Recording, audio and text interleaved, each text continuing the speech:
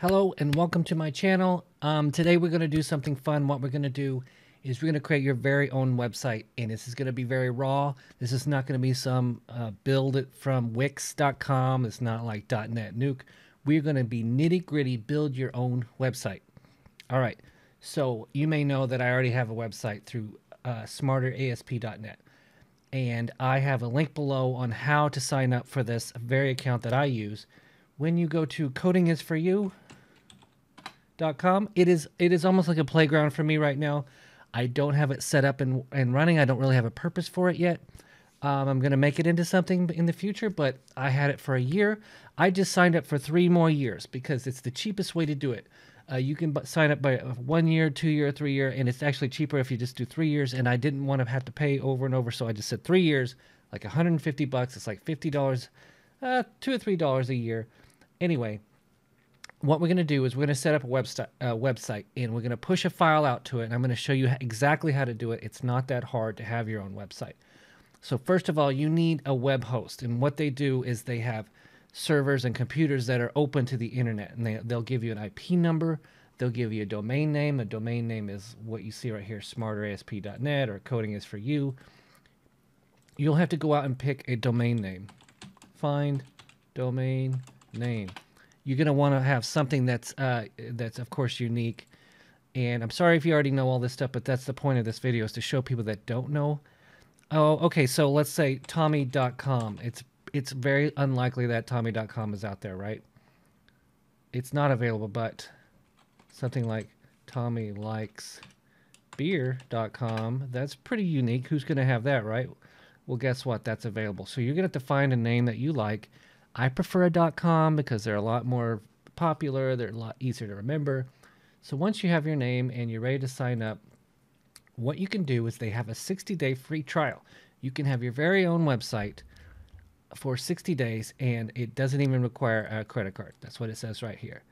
Um, so click in the description below. I have an affiliate link. I do get credit for this. A full disclaimer: I get credit if you click on the link and you sign up for anything. I get credit. So appreciate it if you do that. All right, 60 days free trial.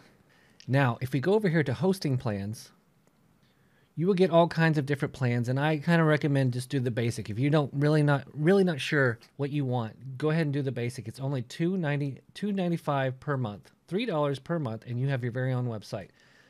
Uh, you, if you really are into like photography or something or you're into yourself, you know, you have a website for yourself, you might do your fullname.com. Like if you were to sign up for a basic, um, you can come down here and get your options. You can get, you'll get an unlimited amount of web space. So you can put your files out there on the cloud. Like if you want to share files and stuff, if you want to push them out there, they'll, they'll store them for you. FTP is what we're going to be using to push files out. That's File Transfer Protocol. That's a program that takes files from your computer and pushes them out to their computer. You're always moving yours to theirs or theirs and back, okay? Um, let's see domain WHOIS privacy? That's the thing where it hides your name. If you people can look you up and figure out who who owns you and they can contact you and so you can hide that if you pay a, fee. Um, a lot of these uh, they also have databases um, that you use. You would have a database if if you wanted to have like a form like a contact form and you wanted to store email address or something you wanted to save it to a database. Way beyond what we're doing here today. Uh, let's go and look at uh, you also get email addresses. You can have email boxes. So let's say your your domain name was codingisforyou.com. Well, you can create through the through the control panel, which I'll show you here in a second, email addresses which will have your domain name. So you can be Tommy at codingisforyou.com, Jim at codingisforyou.com, or or admin or or help or support at your domain name.com. And then when people email it, it'll go to your account in in your control panel.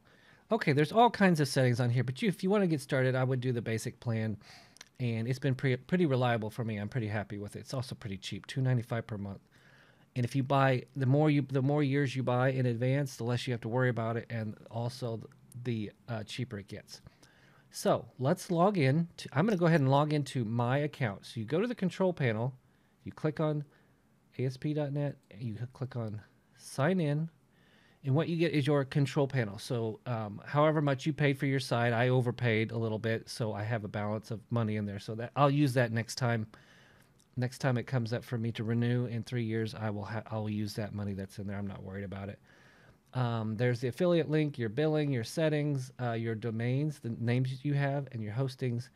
Um, in your control panel, you can kind of control your website. So if you want to uh, add accounts, if you want to add people, uh, user accounts to, for other people to log in, if you want to create your emails right here, you click on emails.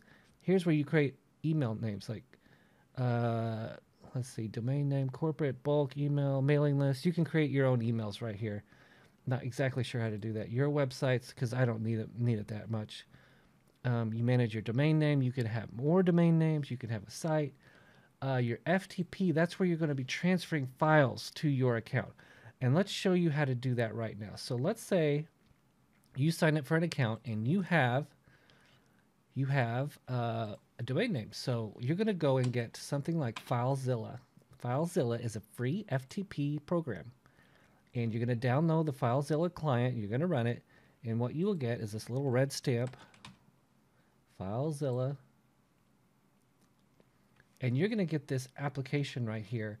And this is how you're going to connect to your very own website. And we're going to do that right now. So let's go to File Site Manager because you can have many sites.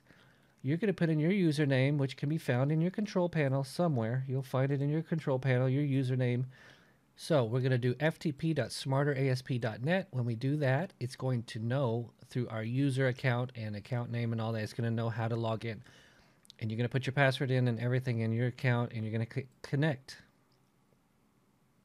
Now, over here on the right side, you can see I'm connected. I have folders. Over here is my computer with all my files. And over here is my website with all my website files. Now, if you notice, I've got tons and tons of files over here. I'm going to go ahead and get rid of a couple files right now. I'm going to delete, right click, delete, kind of clean it up. Now, what we're going to do right now, so already what you're seeing right now are a bunch of files that I already created. I created a sample website in Visual Studio, which we're not going to do today. It's, it's beyond the scope of this. And I pushed them and it, I pushed them out there and it was like a template. And that's why you see all these folders and all out there. I could delete all these right now if I wanted to, but it's all part of a template. Um, don't worry about this. So, but this is where you can see your files. All right. So let's go to the desktop and let's create let's create a file and let's call it crazy.html. Now, now let's make the most basic website you've ever seen. Web page. Okay, let's do this. HTML tag slash HTML. And here's where you're going to need to know HTML. This is why HTML is, is, is what the browser uses to render the page. This is how you tell a browser where to put things, where to put your images, where to put your names, your text boxes. This is what organizes a web page, okay? So I'm going to say my web page. Contact me at 555 555 5555. If you wanted to organize your church, whatever contact list, and you wanted to do it in five minutes, I just did it. Watch. Now I'm going to save this as. I'm going to call it crazy, which I already I've already done this in a previous video, so I'm going to go ahead and do it again. Crazy.html. I'm going to replace it. And just to show you there's no tricks, we're going to edit with Notepad++. There it is. HTML tags. Notice that they're highlighted in Notepad++. And then there's my, my web page. Now, how do you suppose this is going to look? Now, remember, this is on my local computer right now. It's not out on the web. It's not on the internet, but we're connected. So, what we would do, it was go on here to the to, on the left side is our computer, C users, T-Man desktop, HTML school. I'm going to go here on my computer to HTML school right here. And there's that crazy.html that we just created. Now I'm going to click and drag, or you can, there's other ways to do it, but you can click and drag, and it's going to push that file from my computer out to, out to their computer called FTP. If you don't know what FTP is, you use it all the time in programming. Get used to it. We use it. We use what's called SFTP right now at our work. It's that secure file transfer protocol. This is not secure, but it's secure. It means it encrypts it. But anyway, little tidbit there. So there's my crazy.html. Now guess how we are able to go see that. We go to codingisforyou.com, which has all been set up for me, and I type in crazy.html, and guess what? There's my most basic web page you've ever seen my webpage. Contact me at 555 Okay. So let's add some color to this for fun. Let's just add some color. I'm going to go to back to crazy.html.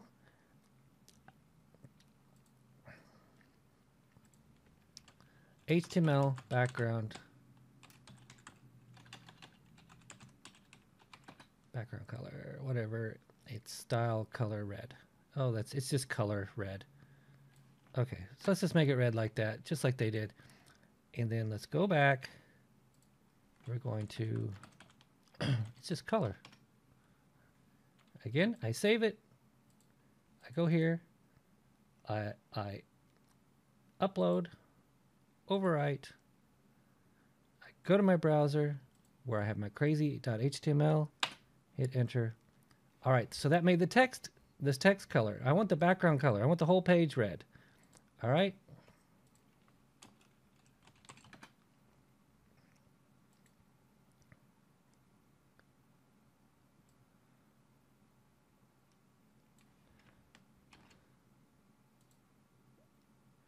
By the way, if you want to mess around with HTML, it's probably just better to go here and go to uh, W3 Schools, and you can easily change things here.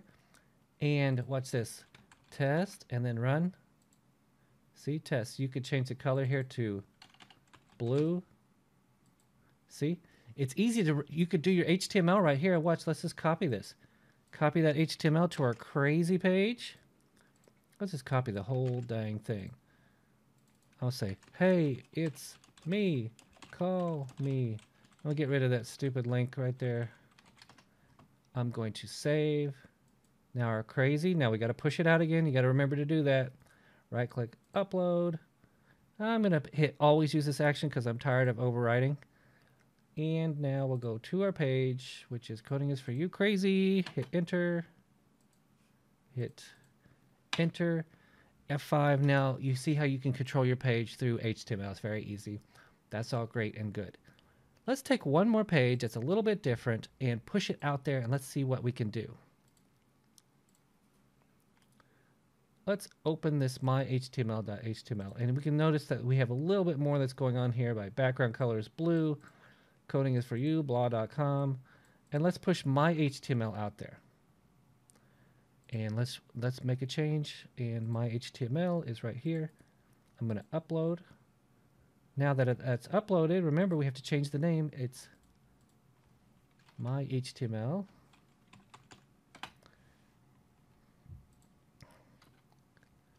And I do believe that's it. My HTML is, let's, okay, so here's a little trick and you'll use this pretty often. So notice that the tags are, are gone all you see are the names here. The tags are what marks up the language, called markup language. It marks up the tags. You can make it bold, headers, footers. Okay, so many oftentimes you are going to be on a website and you're going to want to know the code that's behind it. You can right click on, I'm in Chrome right now, and you can go to view page source. Every browser has this. And you get to look at the source code behind and look, it's the same thing that we just pushed out there, right? This is the browser, browser rendition of our HTML this is the background. Uh, this is the actual text that gets pushed out there. This is what actually comes to your your browser when it comes down. Besides images and things like that, you actually get this text, and your browser turns it into this. So your browser is really taking text and it's and images and, and all these blocky things, and it's turning it into uh, what you see before you. So you're really getting a rendition of something else. So there's code behind everything, but it just happens to look like that. So if we were to type in index.html, you are going to see on my page something that looks a little fancy now. So what I did was I downloaded a template that got me started. You can download templates and this will have everything you need. So you'll have like, so you have start bootstrap. Well, you would replace that and you would have, you put your picture here and you would put your other text here, you know, and you put your pictures here and these are links and you would link to your other stuff, but this gets you started. So you can download templates, and I'll put a link in the description also where you can download free templates and stuff. And that's what this is here. Now, let's see. Let's go here and see index.html. There it is. It's right there. Let's download it. Download. If you upload, you're pushing from your computer to theirs. When you download, it's their computer down. Now let's open this. Let's edit this in Notepad. Let's take a look. Well, that didn't work. I want to open this in. Let's just go to our, our folder here. All right, there's our index. Edit with Notepad. And this was the uh, template that they gave me. And notice that it's a lot more complex. Well, all you have to you don't have to know all this stuff. All you have to do is go to your web page and say, well, start Bootstrap. Where is that? Start Bootstrap. Okay, that's the title. The title, this stuff right here, that's going to be, guess where? Way up at the top. I think it's hidden though. The, I have the title hidden, otherwise you would see it at the top. Um, let's go back. Let's find, let's make a change. Start Bootstrap right there. Start Bootstrap, and I'm to put, just to be really crazy, you dummy. Start Bootstrap, you dummy. Web developer, graphic artist, super, superhuman Tommy. Okay, now I'm going to save this. I'm going to push it back out. Yes, see, it asked me if I wanted to upload it, and, I, and it just did. So now I'm going to go here. I'm going to hit refresh on the web, on the internet, index.html. You can see this right now. Start Bootstrap, you dummy. Now, it doesn't look good, but you're going to have to fix that, right? Um, and what else did I change? Here we go. Web developer, graphic artist, superhuman Tommy. See, this is how you change a template once you get started. Now, this image right here, I don't know what that is. I'm going to right click and click inspect. And in Chrome, you can click inspect and it will jump right to that object in the background. And guess what? It, it highlights this image and it's called profile.png. See, you can, that's a really cool thing. If you wanted to hi highlight this, right click, inspect, it will come down here to that HTML I just showed you and it will highlight exactly where it is in the HTML. So let's highlight this. We're going to go inspect. It's going to be called, see that image profile.png. All right. Now let's go back to our text. Where is it? Profile.png. I'm searching for it. Yeah, well, it's right there. There's our image. If we wanted to change it, we would change it here. You'd have to upload the image also, and it would find it, and it would it would swap out what was there with your new image. Okay, I think that's as deep as I want to get. Um, please click a link below. Please sign up. It helps me out. Um, get a website, get started. That's the best way to do it. When I was in college, the first thing I did was I, I thought, how can I get a job? And I wanted to learn ASP.NET. So I built my very own shopping cart. Now, it was very crude, it wasn't very good, but I built my own shopping cart. I just figured out how to do it, how to get a web page, get started, create your own web page, make it nice. How do I add to a cart? How do I save to a cart? Now you can buy nowadays you can buy tools that do that for you You can buy entire shopping carts now. You so you don't even have to do all that work. Okay? And you can tie into PayPal and all these things now that I didn't used to have, but you do need to understand the basic basics. So go click on the link below, get get an account, get a website, um, ex- make your make your website, play with it have something out there. And if you have any questions at all, I will do my best to help you. I answer every single comment that I can. If I don't answer, give me a few days. I will. I will really try to help you. Thanks.